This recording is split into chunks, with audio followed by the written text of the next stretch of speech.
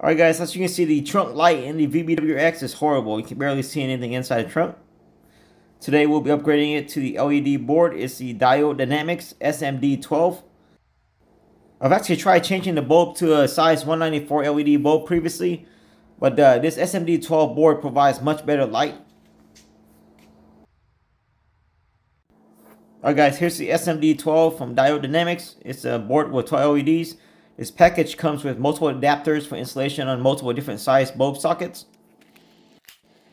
The size of the light socket in the trunk of the VB WRX is a size 194. So that's what we'll be using. I know this is not the OEM look, but this is just pretty much just plug and play. So you can just swap it back to the original bulb that you would like. The uh, back of the board has uh, tape, so you can just tape it up uh, on the underside of the trunk.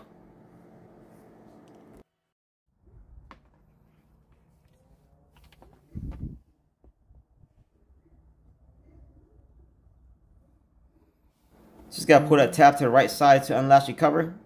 The bolt can be a little bit tricky to pull out. As with pretty much any standard tape installation, you want to use uh, some alcohol to clean up the surface that you're taping it to.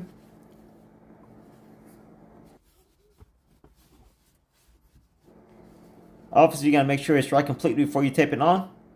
Apply some pressure, but obviously make sure you don't break the LEDs.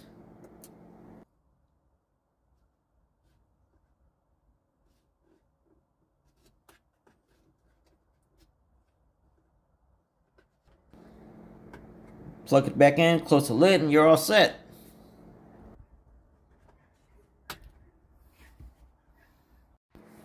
Again, this is the original incandescent bulb. I can barely see anything.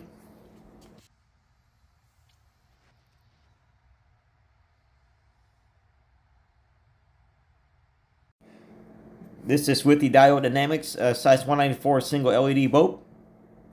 Looks a lot better than the OEM.